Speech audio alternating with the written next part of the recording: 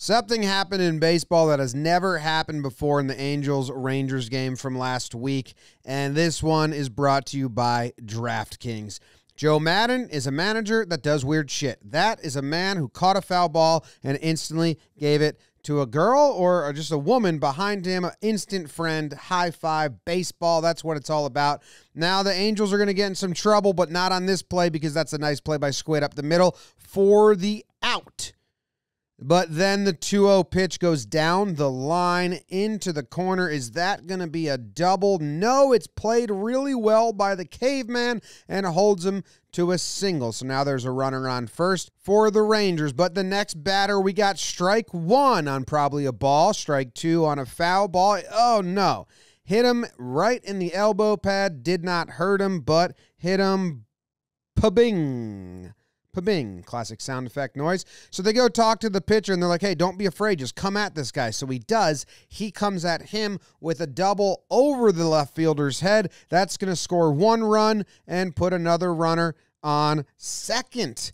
Angels still in trouble, not their inning. That's a little flare into right field. And the manager says, hey, catch, go talk to him. Now, I didn't slow this down or edit this at all. This is live time. The catcher goes to talk to the pitcher. If you're new to baseball, there it's just a strategy to give the warm up the new pitcher that's coming in more time to warm up. So the catcher usually says some nonsense. This time the catcher isn't even talking. And Joe Maddon is just waiting and they're just waiting and no one's saying anything and Joe Maddon's whistling to himself and nodding and they're just waiting.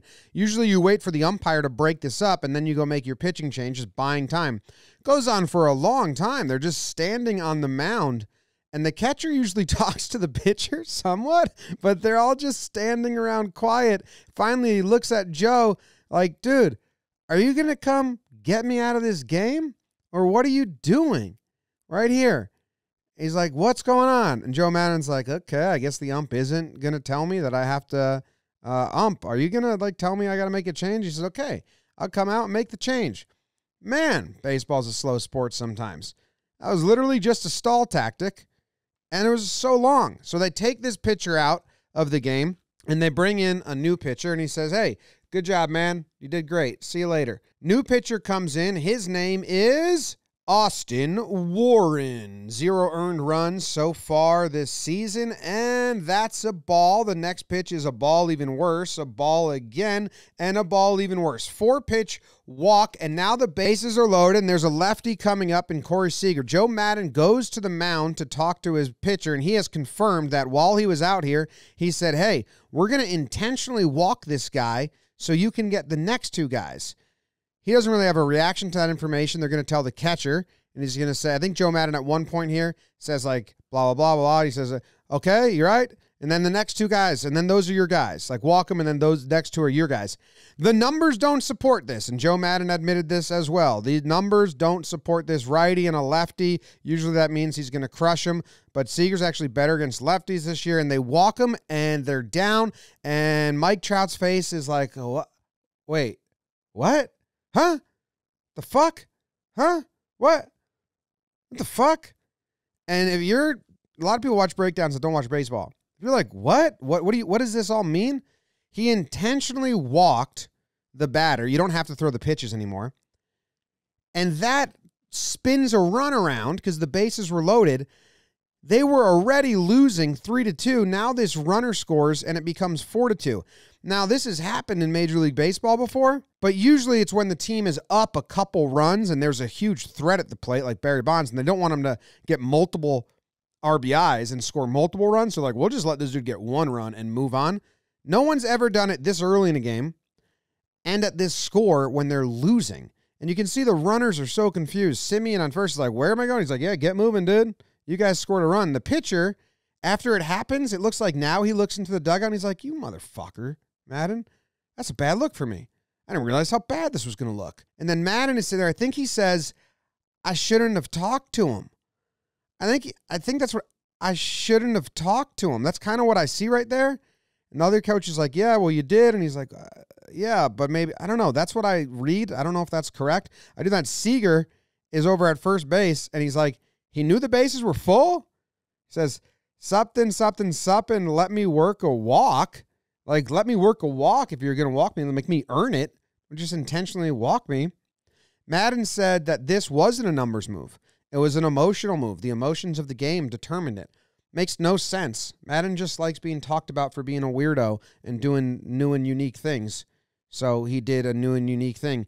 And it backfires immediately because the next batter puts one rule almost to the track and that scores a run. So now you've scored two runs. If your fear was that the batter hits a single and two runs score, well, now that happened. And if your batter was that he hits a double and all three runs score, well, that's about to happen next. And you'll never guess how. So he's starting to, you know, squirm a little bit. And now the pitcher balks and the umpire calls and the other umpire calls it. So the runner on third goes home. So now all three runners have scored.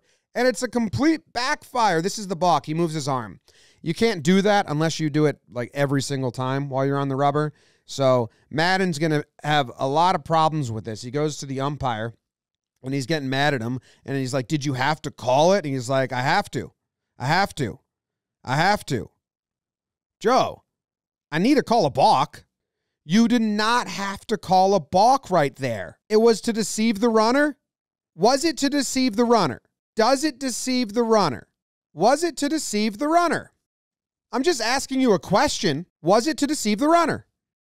But was it to deceive the runner? That's my question. And the umpire starts giving him an answer, and Joe doesn't like it. She says, No, that's not the question. No, I'm asking you, was it to deceive the runner? The ump says, Yeah, could have deceived the runner. You thought that was to deceive the runner right there? Yeah, sure, it could have been. Come on, John, you're better than that. You're better than that, John. You're better than that, John. So Maddon said all of two sentences that entire time, and maybe he's wound a little tight because of something else. Because I mean, that's just a balk by the book. And then the next batter does get out, pops out to the infield. And that ends the inning, but all the runs that were on base when Corey Seager was up scoring the pitcher, I think it sunk in like, what the hell was all that about? And Joe Maddon turns to his assistant coach and he said, Well, uh, doesn't matter now. I screwed up.